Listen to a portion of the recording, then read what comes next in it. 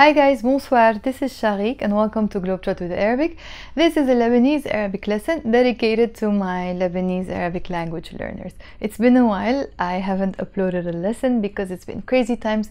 We've been doing Lebanese Arabic 30 day challenge courses on Zoom. So it takes a lot of time. That's why I haven't been uploading so many lessons on YouTube, but I'll try to upload more and more. If you're interested, we're doing the 30 day Lebanese Arabic challenge courses again. We're starting on September 7 and we finish on October 6. So that's exactly 30 days of Lebanese Arabic with me on Zoom for two hours every single day. And there will be more than one level the absolute beginners, the general one, general two, and advanced. If you are interested in signing up for the course, you can email me. I'm going to write my email address here chaghig at globetrotwitharabic.com. Any questions? I am here to answer them. Yalla, let's begin. Um, today, my friend traveled from London and I told him an expression in Arabic. And then, when I said the expression, I thought, why don't I teach my students this on YouTube? Because we have many nice expressions we use in Lebanese Arabic when somebody travels or when somebody arrives from a flight. So, I'm going to tell you this. But also, before we begin, I want to tell you more about how things happen in our culture. It's not just, yeah, you're traveling and somebody maybe um, is waiting for you to arrive, or no, it's usually the whole family, uh, the neighbors, uh, I don't know, the friends, everybody gets involved somehow, which is nice. This is the things that I like in Lebanese culture. It's not like a solo culture, it's more like a community culture. Sometimes it can be a bit too much, but it's nice. So um, not only not only they say expressions or they wait for you and all of that, no, but uh, they also have to give you advice sometimes not sometimes always. Even if they're not the family members they will still give you advice okay? So i'm going to start i wrote some of them here on the on the on in my notes. What i want to ask you guys is not to sit down and listen to me passively no. Sit down write them down uh, say it out loud. Even if you're not writing them at least if you say them out loud pause repeat it helps a lot. If you just listen passively, they say you retain maybe like 10% or 20% of the information. But if you sit down and write them down, or if you say it, you increase the chances of memorizing them, and that would be maybe like 90% or something, okay? So, yeah, let's begin. I'm gonna just start by saying don't be late because they will tell you not to be late to, to, to your flight, basically. Um, even if you know it or not, they will say it. So, in my case, they will say it, of course, because I'm always late. So they start saying ما تتأخري ما تتأخري means don't be late ما تتأخري تتأخري is you be late ما تتأخري don't be late if you're saying it to a girl wait my battery is gonna die but if you say it to a guy you say ما تتأخر so ما تتأخري ما تتأخر okay you can also say ما تتأخر على طيارتك don't be late to your airplane but we don't mean airplane we mean to your flight ما تتأخر ع on literally ع which means to ما تتأخر ع طيارتك طيارة is an airplane طيارتك with the ak in the end makes it your plane masculine ما تتأخر ع طيارتك and if you want to say it to a girl you say ما تتأخري ع طيارتك ما تتأخري you add the ي in the end ما تتأخري ع طيارتك and the ik sound in the end makes it feminine ما تتأخر ع طيارتك and ما تتأخري ع طيارتك they will also ask you if for example I'm in London and my parents are in Lebanon they ask me did you leave home مشيتي من البيت مشيتي مشيتي literally means you walked but they it doesn't it, they don't mean did you walk no they mean did you leave مشيتي and if it's a guy they ask مشيت so مشيتي من البيت you see I'm pronouncing it fast with the liaison من ال من البيت it's من from ال the and بيت من البيت from the house which means from home مشيتي من البيت did you walk from home of course we don't mean did you walk from home it means did you leave home مشيتي من البيت and if you're talking to a guy you would say مشيت من البيت so مشيت من البيت they will ask you مشيت من البيت and of course they will also give you advice to be at the airport um, three hours in advance so they will tell you for me if i'm a girl not if i'm a girl i'm a girl they will tell me um, لازم تكوني على المطار قبل بثلاث ساعات you have to be at the airport three hours in advance because usually there would be lots of people or whatever so they will say it to you whether you know it or not they will say it to you so لازم تكوني على المطار لازم must literally must لازم تكوني you be so if you want to say you must be in Arabic you, the way you say it is must you be لازم تكوني لازم تكوني على المطار literally I'm saying on the airport of course we don't mean on the airport we mean at the airport so لازم تكوني على المطار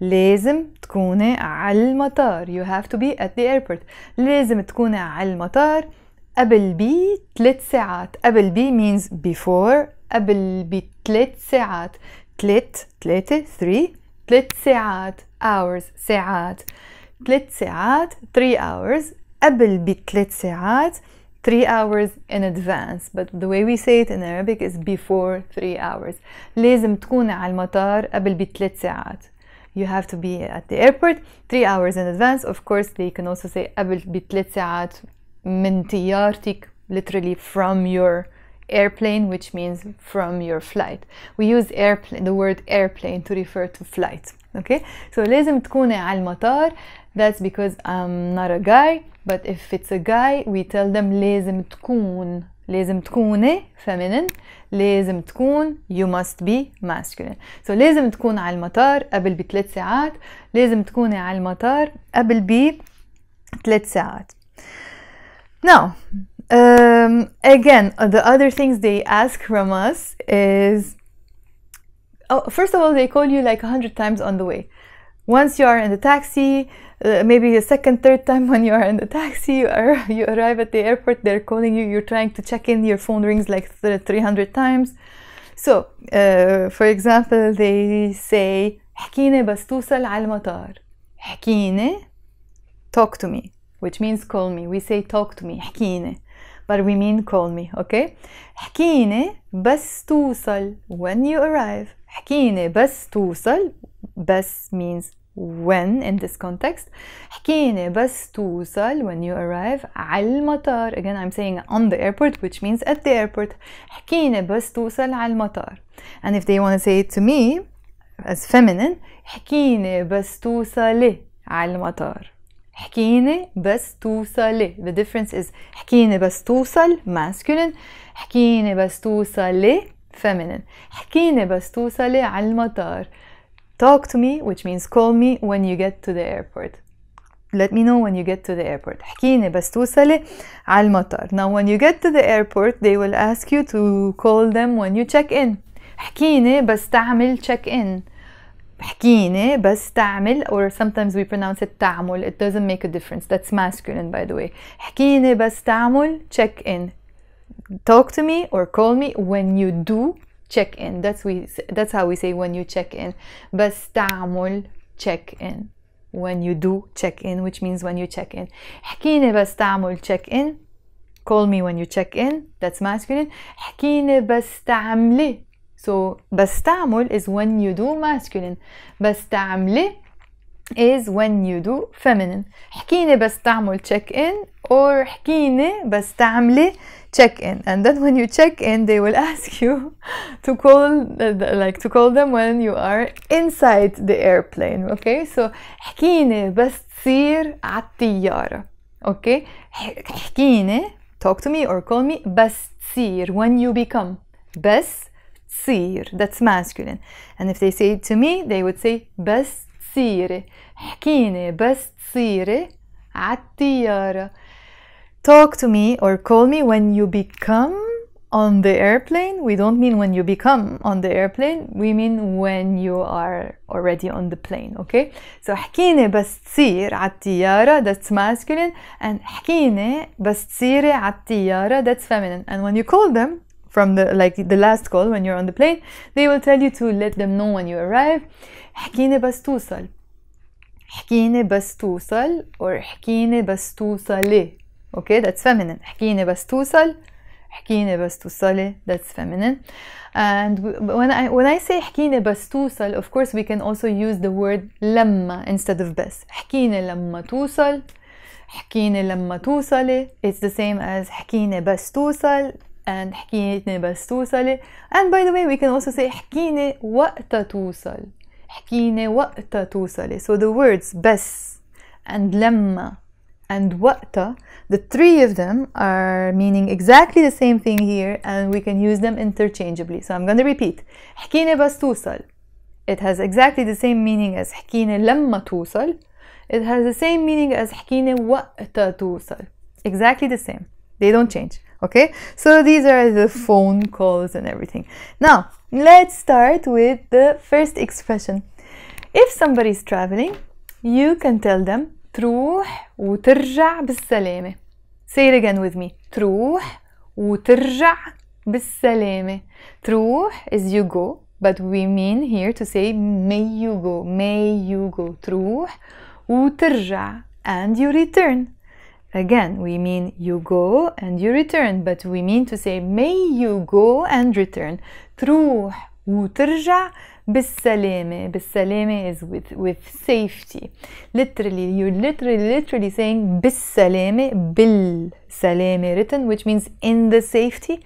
Of course, you don't mean in the safety, it means with safety. May you go and come back with safety سلامة تروح وترجع بالسلامة that's if you're saying it to a guy if you want to say it to me or someone in the feminine form you say تروحي وترجعي بالسلامة you add the a sound in the end and it's written as a ye in Arabic تروحي وترجعي بالسلامة I'm gonna say it a bit faster to a guy تروح وترجع بالسلامة to a girl تروحي وترجعي بالسلامة تروحي that's how you're pronouncing it تروحي تروحي وترجعي بالسلامة تروح وترجع بالسلامة تروحي وترجعي بالسلامة this is very very commonly used if somebody is dear to your heart and you want to wish them to have a good flight that's how you say it تروح وترجع بالسلامة uh, a mom usually might say to her to her kids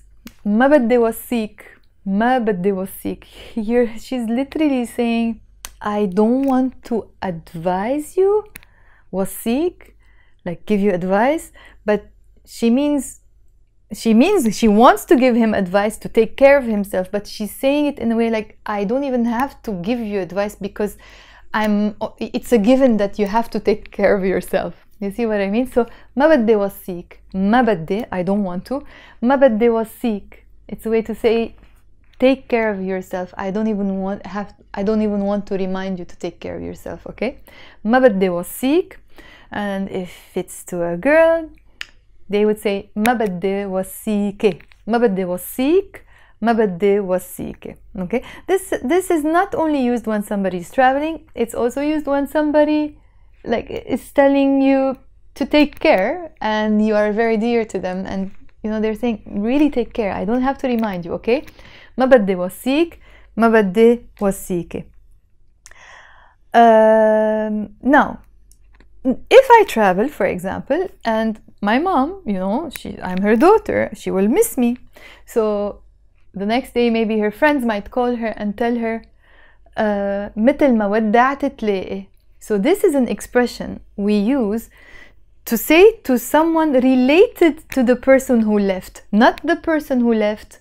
we say it to someone related to that person or someone who loves that person or you know the person who traveled is dear to them so we say it to them as a way to comfort them okay so we say مثل ما ودعت تلاقي if I'm saying it to a guy I'll say it slower say it with me مثل ما ودعت ودعت تلاقي مثل ما ودعت تلاقي and if you want to say it to a woman you say مثل ما ودعت تلاقي so the difference is مثل ما ودعت مثل ما ودعت in the feminine form مثل ما ودعت تلاقي مثل ما ودعت تلاقي so what does this literally mean مثل ما just like مثل ما مثل means like مثل ما we use it to mean just like you'll understand what I mean in a second مثل ما ودعت ودعت is a verb literally as if you are saying you farewelled it doesn't exist as a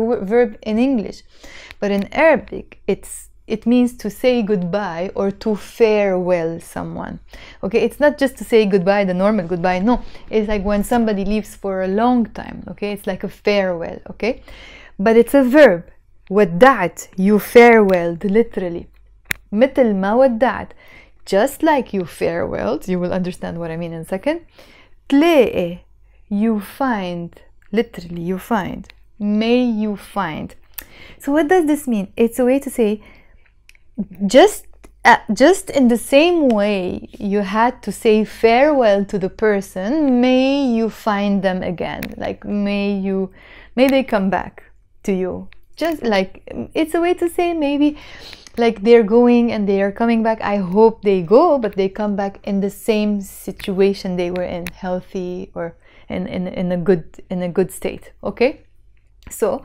مثل ما ودعت تلاقي I hope just like you had to say goodbye someday you find them which means someday you have to welcome them again okay it's a very nice expression and very very very commonly used okay so مثل ما ودعت تلاقي that's if you're saying it to a guy مثل ما ودعتي تلاقي if you're saying it to a girl another expression is um, sometimes they say don't forget us ما تنسينا ما تنسينا تنسى is you forget that's masculine تنسي is you forget feminine but then when we add the na in the end which means us okay it's an object pronoun it's us. We don't say matinsana anymore no. For both masculine and feminine we will pronounce it in the same way. We will say matinsina. Don't forget us. Matinsina. Why do we say us even if it's just one person saying it? We say it sometimes. Maybe we mean ourselves but maybe also we mean us as a family or as a group. It can be used as either ways. Okay i'll come back.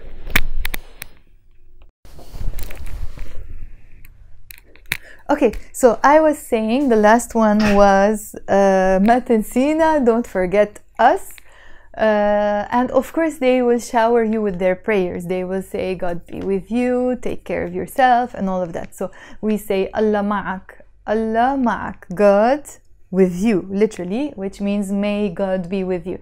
And in the feminine form, we say, Allah ma'ik. So Allah ma'ak, Allah ma'ik, take care of yourself. انتبه حالك, انتبه, take care. And in another context, it can mean watch out, but here it means take care.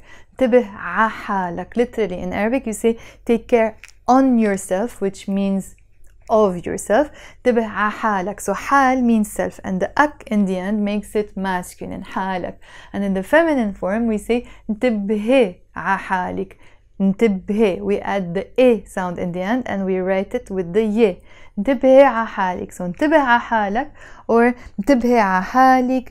Uh, we also say الله يوفقك. Allah يوفقك. God uh, give you luck. يوفق. Give you success as well. Okay? So Allah يوفقك. Allah يوفقك. It's a it's a way to wish good luck to someone. الله يوفقك. الله يوفقك. So الله معك. انتبه على حالك. الله يوفقك. and Allah معك انتبهي على حالك and Allah يوفقك there will be a lot more a, a, whole series of prayers and wishes because that's also part of our culture as well it's not just take care of yourself no it's like uh, maybe 10 or 20 expressions that are in the all good wishes and all prayers okay and one other thing I wanted to say is what does the person say when you arrive. So, for example, if I arrive to Lebanon, what would they say to me? It's not just the parents, it's also the taxi driver, the people uh, at the airport, the customs office, all of them. They will say, Alhamdulillah as-salame. Alhamdulillah as-salame.